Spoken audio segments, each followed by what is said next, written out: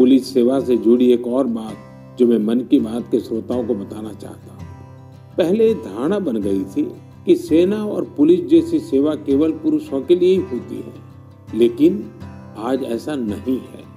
Bureau of police research and development के आंकड़े बताते हैं कि पिछले कुछ वर्षों में महिला पुलिस कर्मियों की संख्या डबल हो गई है, दोगुनी हो गई है।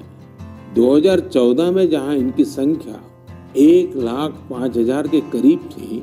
वहीं 2020 तक इसमें दो गुने से भी ज़्यादा की बढ़ोतरी हुई है और ये संख्या अब दो लाख पंद्रह हज़ार तक पहुँच गई है।